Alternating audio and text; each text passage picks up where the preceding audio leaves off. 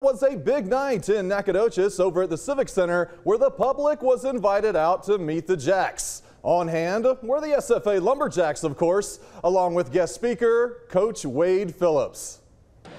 Well, I'm excited to be here for Stephen F. Austin, you know, to see all these players and, and uh, you know, they have a bright future here, uh, not only in sports and football, but education is great here at, at Stephen F. Austin, too.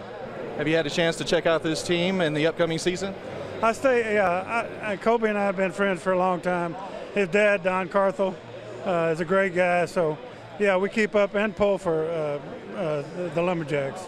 Yeah, it's the old Meet the Jacks event, and we're uh, fired up to uh, get get them out here in front of the public. And some of our fan, best fans and boosters are here tonight to uh, to meet them. And just this the 2023 SFA football team and, and, a good chance for the you know them to kind of their first appearance out in public and and so uh, just a fun event overall for our program.